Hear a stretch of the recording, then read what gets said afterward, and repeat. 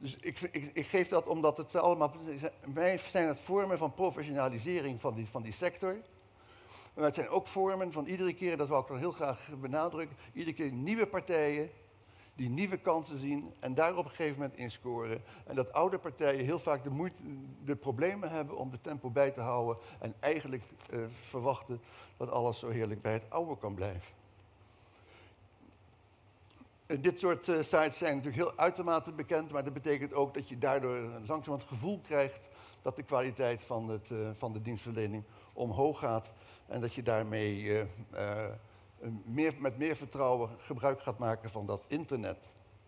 En dat vind ik ook een hele aardige, dat Beat Tribes. Dat betekent eigenlijk dat je als je real-time online wil beslissen waar je op vrijdagavond of zaterdagavond uit wil gaan, zie je daar via livestreaming wat er op dat moment speelt als je naar een overweegt om naar een discotheek te gaan.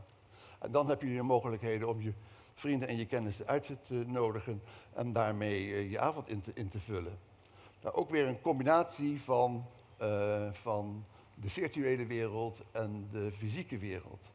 Dit is natuurlijk een, eh, nog maar een begin, al, al, wordt het door een van de grote revoluties genoemd, augmented uh, technology, die gekoppeld wordt aan kunstmatige intelligentie.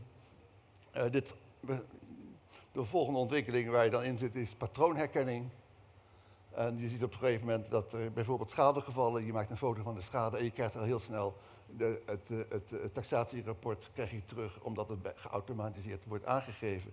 Dus het, uh, het, zoeken naar software, daar ben ik zelf ook bij betrokken, wat we de, de, narratieve software. Software die reageert op willekeurige beelden, op willekeurige spraken, op willekeurige verhaaltjes.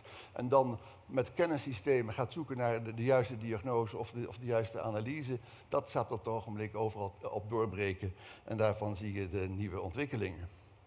En dat betekent dat dat gaat niet alleen in de in de, dit is dan in de, in, in, de, uh, in, de huizenmarkt of in de makelaarsmarkt waar je een verandering krijgt. Maar het gaat ook over de grote veranderingen die het zijn. En Erik Huizen noemde het al even, de grote verandering in de energiemarkt die, die, die eigenlijk op komst is. En dat is heel interessant hoe IT-bedrijven op uh, heel, heel intensief bezig zijn om intelligente netwerken aan te leggen. En eigenlijk is dit onze toekomst. Het feit dat wij uh, uh, onze auto die niet meer hybride zal zijn, maar full electric, dat we die gebruiken in het hele proces van, uh, van, uh, van vraag en aanbod van energie. De, de, de, de, de, de, duurzame energie, maar ook de opslag daarvan en dan de koppeling aan het net moet gaan leiden tot een hele belangrijke daling van de kosten. Het zijn niet alleen de, zonne, de zonnecellen die net als de wet van Moore op het ogenblik in een exponentiële ontwikkeling zitten. Waardoor we eigenlijk zien dat de zonnecellen al 30% per jaar goedkoper worden. Maar het is ook deze, de kracht van ICT, de kracht eigenlijk van de internetverbindingen, waarvan we niet eens meer weten dat er een domeinnaam aan, aan vast zit, zou je juist kunnen zeggen. Die dus eigenlijk zorgen dat om de 15 minuten de, de, de vraag en aanbod van, de, uh, van, van energie wordt gebruikt want die bepaalt wanneer je auto wordt opgeladen, die bepaalt wanneer je wasmachine gaat draaien. En dat, die zorgt ervoor een, een, een uitvlakking van, van, van, pieken en dalen. En daar zit een enorme prijsverbetering uh, uh, in. Er zijn uh, scenario's en die, die, die, moet ik zeggen, die volg ik eerlijk, eerlijk gezegd zelf ook erg. Dat we dus, nog even eentje terug. Dat doet u dus niet. Maar er zijn dus scenario's voor dat we dus rond 2015, 2016, dan zal de, de energie, elektriciteit uit duurzame bronnen even duur zijn als de elektriciteit uit, uh, uit fossiele bronnen. Dat noemen ze parity Dat geldt uh, voor, voor, zelfs voor Amerika, dat geldt voor, voor zuidelijke landen, maar een paar jaar later ook voor Nederland. We verwachten dat die ontwikkeling zo snel gaat dat we na 2020, na 2020 een ruime oliemarkt gaan krijgen. En ik zit in de mensen die geloven dat, dat rond 2025 dezelfde gaat gebeuren als bij de ICT. Dat dan de prijs van stroom, van elektriciteit naar beneden gaat. En als het feit dat we dus nu kunnen, al jarenlang eh, gratis kunnen skypen, zijn het ontwikkelingen zijn die aan dezelfde, uh, aan, aan, aan, dezelfde modellen voldoen als die we op het ogenblik zien in de energiemarkt. Het zijn dus vaak nieuwe partijen die er binnenkomen. Dus de Cisco's, de IBM's, eh, de Microsoft, de Googles maken zich eigenlijk op voor een grote revolutie in de, in in in de energiemarkt. Die zien dat ze daarmee grote uh, stappen kunnen maken.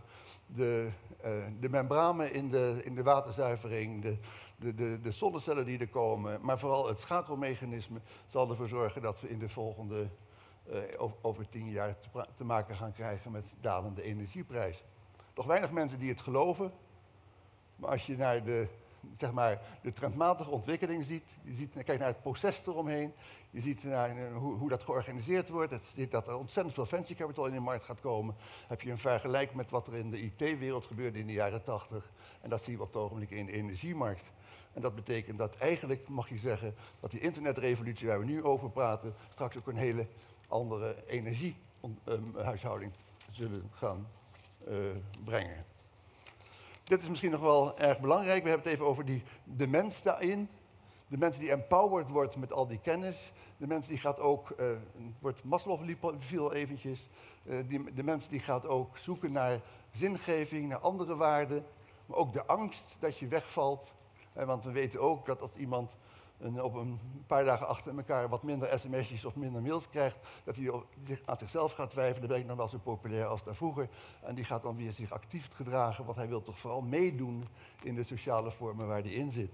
Met andere woorden, er, is een, er komt een grote, een grote binding van mensen rond dat internet. En dan heb je natuurlijk een voorbeeld als Paas, waar je uitsluitend met je 50 meest vertrouwde mensen aan mee mag doen. En kijk maar om je heen, er zijn eigenlijk geen mensen die meer dan 50 mensen hebben waar, die ze echt kunnen vertrouwen. Dat is echt een beetje het maximum waar we over, waar we over gaan. We hebben gemiddeld 150 mensen waar we mee omgaan en daarvan is een derde te vertrouwen. Dat is een beetje een, een yardstick in de samenleving. En daar zijn ze keurig op ingespeeld. In de politiek uh, maken we uh, eigenlijk dit soort zaken het, mee. Het feit dat ik hier sta is een subtiele manier om te zeggen dat de zandloper doorgaat. Prima, hè? ja, ik ben bijna okay. klaar. Dit, is, dit, noemen we peer governance. We zien bij Wikileaks leaks dat wat er in de achterkamertjes gebeurt eigenlijk niet veel, niet veel anders is dan, de manier waarop wij met elkaar praten. Het wordt ook negatief gebruikt.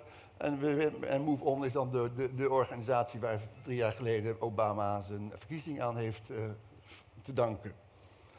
De laatste gaat eigenlijk, ja, dat moet ik toch wel even noemen, de onzekerheden die in de markt zitten.